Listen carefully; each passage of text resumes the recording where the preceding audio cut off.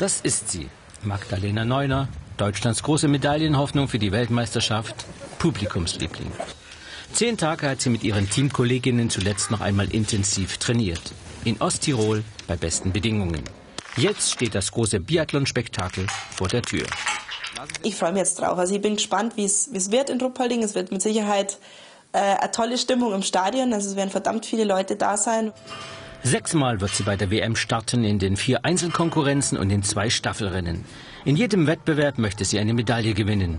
Ihr Selbstvertrauen ist groß, denn keine andere Biathletin hat wie sie in diesem Winter acht Weltcupsiege geschafft. Die Arbeit viel dafür. Ich habe äh, einen sehr guten Mentaltrainer, der mich da gut durchführt, habe gute Trainer, die mich in sportlicher Hinsicht, was Laufen und Schießen betrifft, ähm, optimal unterstützen. Und ich denke, das ist momentan eine sehr gute Kombination.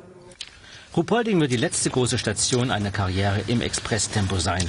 In fünf Jahren erreichte Magdalena Neuner all das, wovon Sportler träumen. Mit 19 holte sie in Südtirol ihre ersten WM-Titel. Mittlerweile hat sie zehn davon. Dann der große Gipfelsturm 2010, die Olympischen Spiele in Vancouver.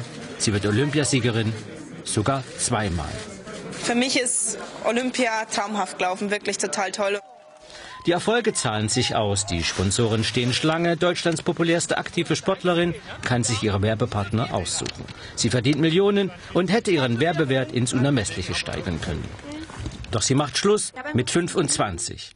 Anfang Dezember kündigt sie ihr Karriereende an. Der Hauptgrund, die fehlende Motivation, dazu der ständige Medienrummel. Natürlich gehört halt das auch dazu, dass man halt mal gestresst ist, dass man halt ähm, viele Leute um einen rum haben, die einen beobachten, die schauen, was man so tut, die einem äh, folgen auf Schritt und Tritt. Doch ihre Karriere hatte natürlich zumeist Sonnenseiten.